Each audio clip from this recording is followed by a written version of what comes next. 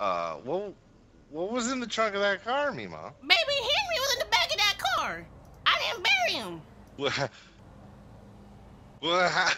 What? Yeah, baby. MeeMaw, I, what are you saying to me? baby Henry died, and I didn't know how to get rid of him. I, I didn't want to take him to the hospital, and I ain't got no money to pay for his Oh funeral. God. so I had him in the back of the car, and Oh I kept calling him Henry, and everybody didn't understand when I said my Henry.